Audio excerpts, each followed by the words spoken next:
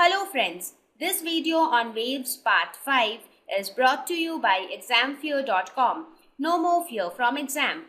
Please make sure that you have watched all the videos till Part 4 before going ahead with Part 5.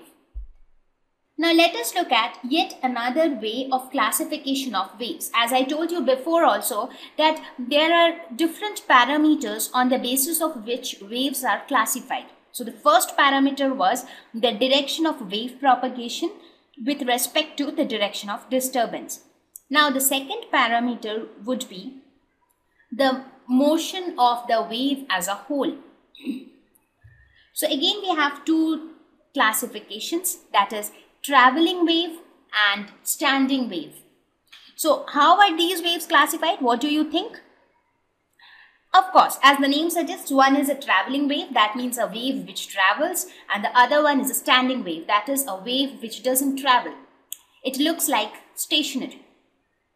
So depending upon whether a wave moves from one point to another or not, we classify waves into two types. Traveling wave, which is also known as progressive wave.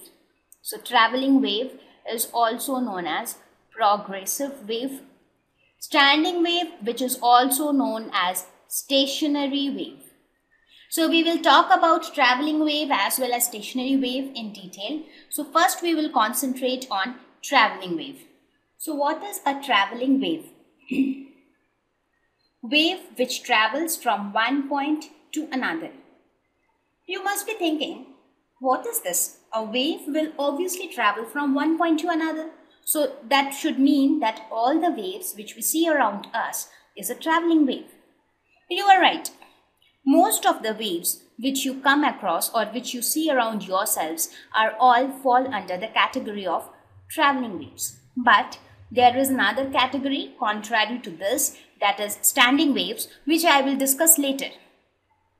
So traveling waves means the wave travels from one point to another. Here I am talking only about the wave propagation. I am not talking about the movement of the particles of the medium.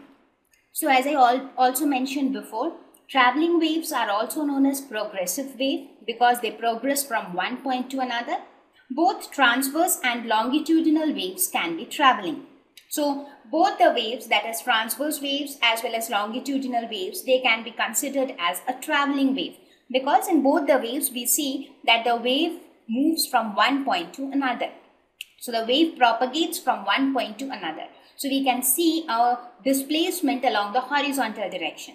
So we say that they can be classified as traveling waves. Let us look at these examples. Just have a look at this wave what do you find? You see that the wave is traveling towards right. So that is a traveling wave where the wave as a whole looks to be moving along one direction. So similarly, if you consider the longitudinal wave, here also you see that the wave as a whole is moving along the horizontal towards right. Now that I have discussed about some of the types of waves, not all yet because we are still left with standing waves.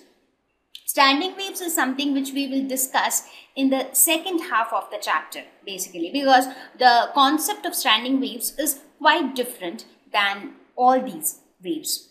So basically in the first half of the chapter we will discuss only about the different uh, properties of waves, the different parameters or the different uh, terms which you should know related to waves we will talk about traveling waves. We will talk about uh, transverse as well as longitudinal waves. So once we are done with that then we will get into standing waves. So now before we go into further detail let us look at the various terms related to a wave. Correct? Whenever we discuss any concept we have certain terms related to it. For example